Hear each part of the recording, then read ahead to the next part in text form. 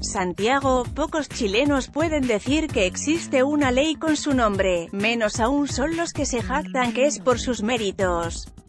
Y más ínfimo es el número si esto es por éxitos deportivos. Todos esos honores tiene Yutaka Matsubara, el tenimesista chileno-japonés de 20 años, quien tras una ardua lucha suya, de su familia y las autoridades deportivas, consiguió el 7 de octubre del 2014 que el Senado le concediera la nacionalidad por gracia.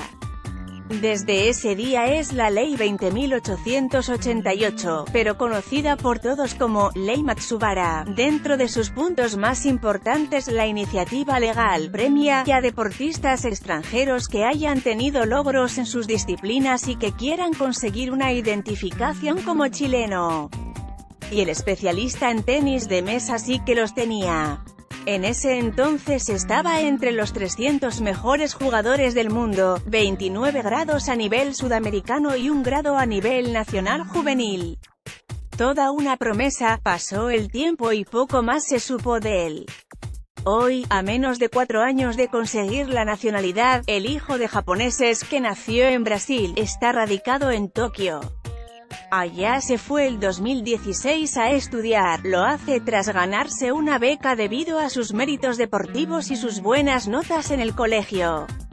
La carrera que sigue es Liberal Arts, una especie de bachillerato en ciencias sociales y no en cualquier universidad, sino que en la Waseda University, una de las 10 mejores del mundo, la mejor privada de Japón, y que me permite seguir dedicado a mi deporte, cuenta en conversación con Emol.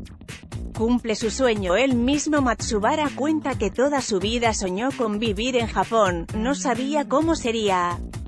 Pero se dio lo de la beca y lo mejor es que me pagan todos los estudios, la alimentación y hospedaje y lo mejor que entreno en el mismo recinto y con varios de los mejores del mundo, no puedo pedir más, el idioma para él no fue problema. En Chile estudió en un colegio hasta sexto básico solo para niños japoneses. Además, allá tomó cursos de inglés y también sabe portugués, eso sí, no esconde que echa de menos Chile. En Tokio está solo, sus padres están acá, y no tengo todo el contacto que quisiera por la diferencia horaria. Extraño a mi familia y mucho la comida, sobre todo las empanadas y la carne, cuenta. Su importancia en la ley y sus deseos de volver a Chile Matsubara es consciente que él fue uno de los grandes impulsores para que otros deportistas extranjeros compitan como chilenos. Sé que por ejemplo el pesista cubano Arly Méndez ha sido campeón mundial y ganó medallas. Es un tremendo honor para mí haber ayudado a esto, recuerda que el camino suyo fue difícil, que tuvo que golpear muchas puertas para ser reconocido como chileno. Pasé por muchos momentos malos, me sentía mal por no poder representar a Chile, ganaba todos los torneos nacionales pero en los internacionales no podía estar.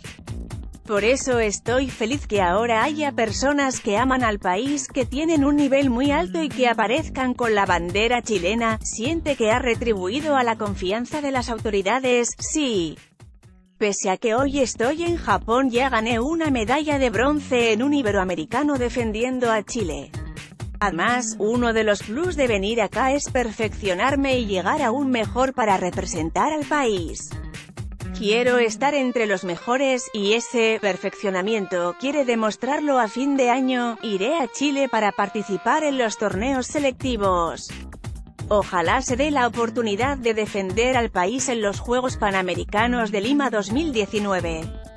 Acá no sería problema. La U me permite viajar las veces que desee y después me descuentan los días y recupero las clases, uno de sus objetivos es ayudar a subir el nivel de la competencia. Cuando estaba allá, en Chile, el nivel venía muy bajo cayendo cada vez más a nivel sudamericano. Por eso me motivó venir a Japón y mejorar para llegar a ser aporte. Hoy está el joven Nicolás Burgos, 15 años, a quien conozco. He jugado contra él pero cuando era muy chico. Sé que es bueno, no sé si yo le gane, pero el problema es que tanto él como yo somos las únicas cartas que veo para triunfar en este deporte. Yutaka se despide.